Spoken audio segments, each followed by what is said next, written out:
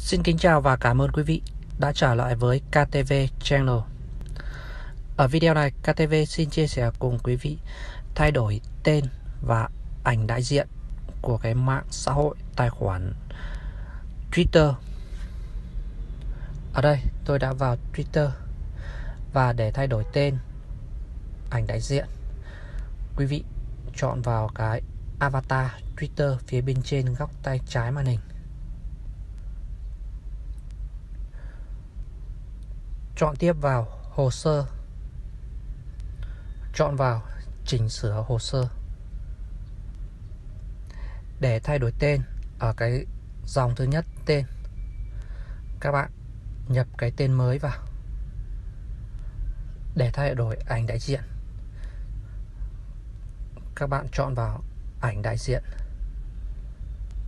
Rồi tìm đến một cái ảnh ví dụ tôi sẽ chọn cái ảnh này. Rồi, chọn vào áp dụng.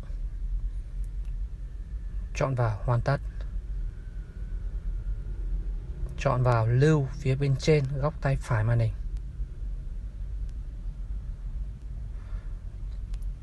Các bạn muốn tweet cái ảnh đại diện này thì chọn vào tweet còn không?